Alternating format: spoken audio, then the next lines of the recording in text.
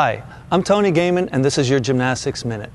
Today we're going to talk about a way to help keep the alignment with the arms and the head in a straight line during the basic skills. Here we take two mittens and place them within the shoulders and ears so that the gymnast is keeping straight.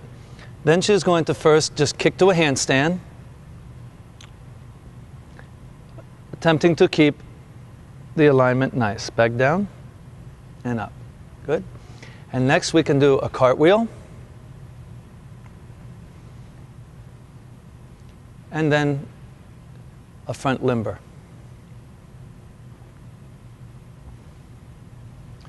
Virtually any basic skill can be performed with these mittens in the, between the ears. Anything can be used. You could use paper towels or a small sponge, but it should not be too thick.